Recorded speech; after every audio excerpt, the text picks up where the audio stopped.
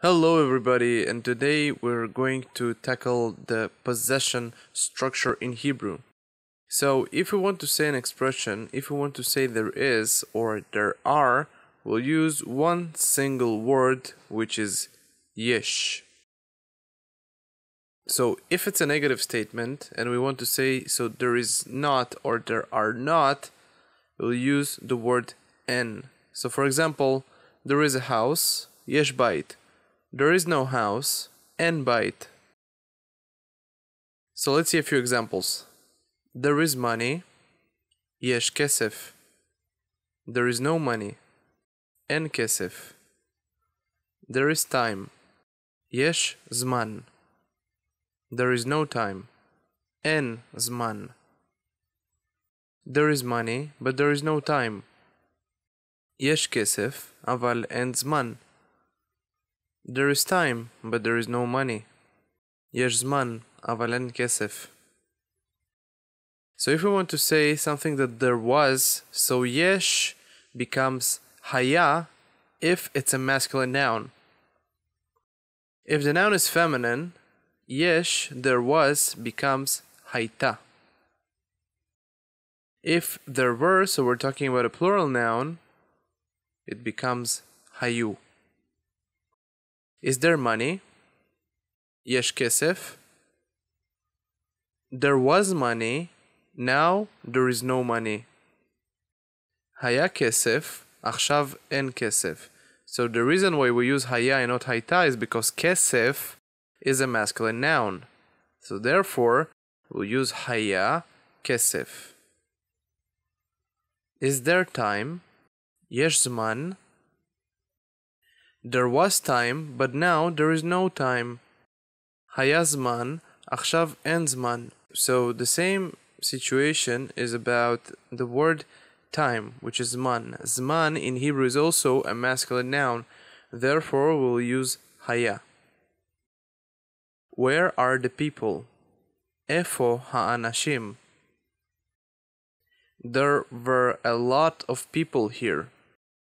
היו פה הרבה אנשים. So notice that here we're using hayu because people is a plural noun, therefore we'll say hayu. Now there are no people here. עכשיו אין פה אנשים. So now we're going to tackle to have. To say to have, so we will combine the expression yesh plus le. Le is a preposition or a possessive pronoun that will be used to describe who has. So the inflection of it will actually tell us who has. So therefore we cannot say ani yesh. It is a misconception and it's wrong. You cannot say ani yesh kesef or ani yesh zman. It's wrong. You cannot use it. You have to use le, the preposition le as the possessive pronoun. The inflection of it is what we're going to learn. So if I have or there is to me, literally, it will be li. The inflection of to you masculine singular will be lecha.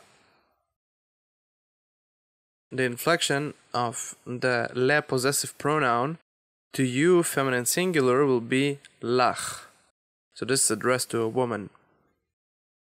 So if I want to say I have, remember, it's not any yesh, it will be yesh li. I don't have, so instead of yesh, we'll use en li. Let's see what will happen if we will address the same question or the same statement to a man. You're stating you have ata yesh? Absolutely not. Yesh lecha. We'll need to use the inflection of the possessive pronoun. Yesh lecha. If you want to say to a person, if you want to say to a man, you don't have, therefore you will say en lecha. When we're addressing the same statement to a woman, we'll say we're saying you have yesh lach. You don't have en lach. So we're asking a man do you have money? How will we say that? יש לך כסף? Yes, I have money. כן, יש לי כסף. I have a lot of money. יש לי הרבה כסף. Do you have time? יש לך זמן? No, I have no time. לא, אין לי זמן. A question addressed to a woman. Do you have children? יש לך ילדים? Yes, I have three children. כן, יש לי שלושה ילדים. And this is a counter question, so it will be the person asked a woman if she has children and she asked him as a counter question and do you have children? Ulecha yesh yeladim. So notice that i changed the order here because we started conversation. The man asked the woman if she has children she made a counter question. She asked a counter question. And do you have children? So therefore I changed the order because we're putting stress on the ulecha yesh yeladim. Yes, I have two children. Ken, yesh li shne yeladim. So now we're talking about had, so we're basically talking about the verb to be in past tense. So remember that haya, haita, and hayu. So therefore, yesh and en will be replaced by haya and lo haya. So if we want to say something that was, we will use the past tense of the verb to be. So yesh becomes haya, haita, or hayu depending on the gender and the number of the noun or the object that was possessed together with the le preposition. So for example, if we want to make a negative statement, so n becomes lo haya or lo haita or lo hayu. So therefore, yesh becomes haya, haita or hayu. n becomes lo haya, lo haita, lo hayu obviously depending on the gender and the number of the object. So how will we use the possessive pronoun together with a name?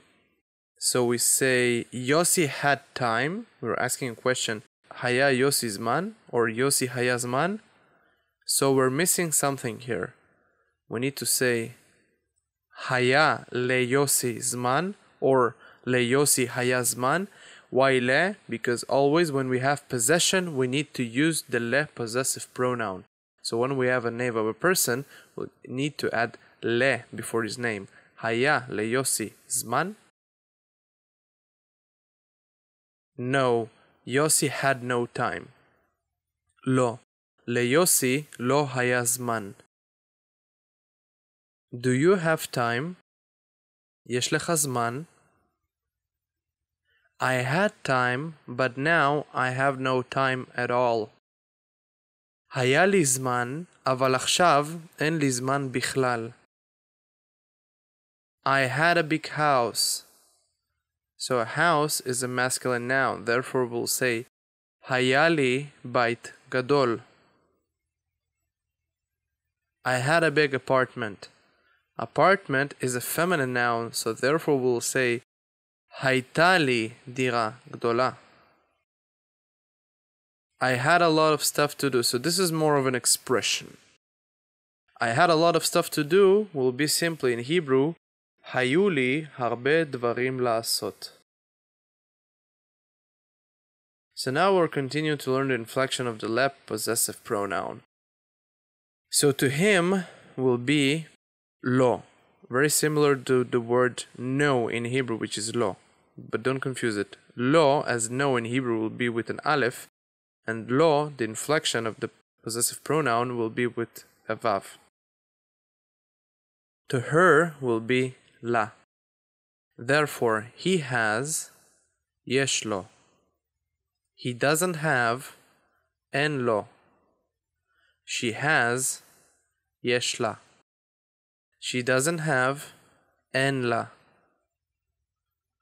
Does Yossi have children? יש ליוסי ילדים? Yes, Yossi has one child. כן, ליוסי יש ילד אחד. He has one child. יש לו ילד אחד. Does מיכל have children? יש למיכל ילדים. No, מיכל doesn't have children. לא, למיכל אין ילדים. She has no children. אין לה ילדים. To us will be לנו. To you guys, masculine plural will be לכם. To you girls, feminine plural will be לכן. We have יש לנו. We don't have אין לנו. You have יש לכם. You don't have אין לכם. Feminine plural you have יש לכן. You don't have אין לכן. Do you have an apartment? יש לכם דירה? Yes, we have an apartment. כן, יש לנו דירה. Where do you have an apartment? איפה יש לכם דירה? We have an apartment in Jerusalem. יש לנו דירה בירושלים. Where did you have an apartment? איפה הייתה לכם דירה? So remember, דירה is a feminine noun. Therefore, we'll say הייתה. We had an apartment in Tel Aviv. הייתה לנו דירה בתל אביב. Do you have a store next to the house? יש לכם חנות ליד הבית? Yes, we have plenty of stores next to our house. כן, יש לנו הרבה חנויות ליד הבית. Do you have plans for tomorrow? יש לכם תוכניות למחר? No, we have no plans for tomorrow. לא, אין לנו תוכניות למחר. Did you have plans for tomorrow? היו לכן תוכניות למחר? So we use היו because plans is a plural noun. We had plans, but now we have no plans. היו לנו תוכניות, אבל עכשיו אין לנו תוכניות. Do you have a cat in the house? יש לכן חתול בבית? No, we don't have a cat, we have a dog. לא, אין לנו חתול, יש לנו כלב.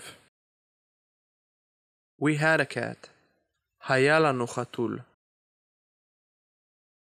So the inflection of to them, masculine plural will be lahem, and to them feminine plural will be lahen. They have yesh lahem. They don't have en lahem. They have yesh lahen. They don't have en lahen. Do they have a job? Yesh lahem avoda. Yes, they have a very good job. כן, יש להם עבודה טובה מאוד. Do they have cars? יש להם מכוניות? No, they have no cars. לא, אין להם מכוניות. Do they have a cat? יש להן חתול? No, they don't have a cat. לא, אין להן חתול. They had a cat. היה להן חתול. Do they have a dog?